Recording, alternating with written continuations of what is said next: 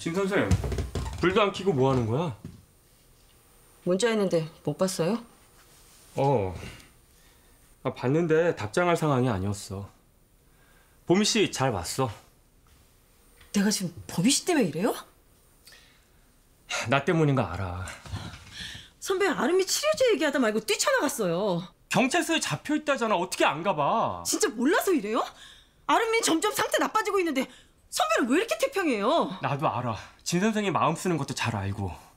그래도 1차 임상 결과 잘 나왔다니까 우리 희망적으로 생각하자. 응? 그 허브 지금 어디 있는데요? 어? 아니 당장이라도 일손 모아서 허브 채취하고 오일 작업하려면 몇 달이나 걸려요. 2차 임상까지 죽어라 매달려도 아름이한테 투여하려면 반년 이상 걸린다는 거 선배가 더 잘 알잖아요. 그래. 내가 더 집중할게. 내가 대학병원 자리 마다하고 여기 온 건 선배 뜻이 나랑 같다고 생각해서였어요. 근데 지금 모르겠어요. 선배가 왜 이러는지. 진 선생 말 다 맞아. 그래도 쿵따리를 지키는 것도 우리 일이야. 도움 필요한 사람들 살피면서 쿵따리 떠나지 않고 함께 잘 살 수 있게 우리라도 신경 써야지. 당분간 손 뗄 테니까 나머진 선배가 알아서 해요.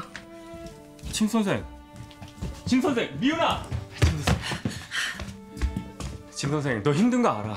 내 잘못이 커. 그래도 네가 그만두면 진 선생, 미윤아. 선배한테 난 그냥 치료제 개발에 필요한 사람인 거죠? 내 마음 뻔히 알면서도 모른 척하고 겨단 주면 그만이라 생각하죠?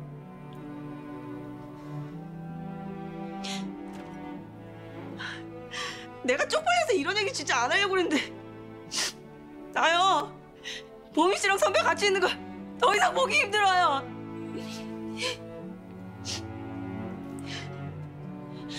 선배가 보미 씨 놓지 못하겠다면 어쩔 수 없죠.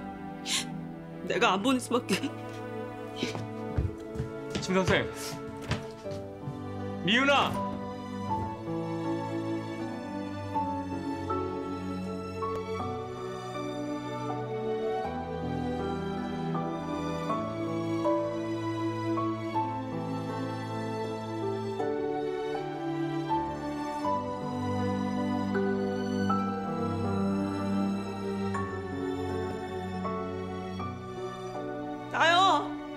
보미 씨랑 선배 같이 있는 거더 이상 보기 힘들어요. 선배가 보미 씨 놓지 못하겠다면 어쩔 수 없죠. 내가 안 보낼 수밖에.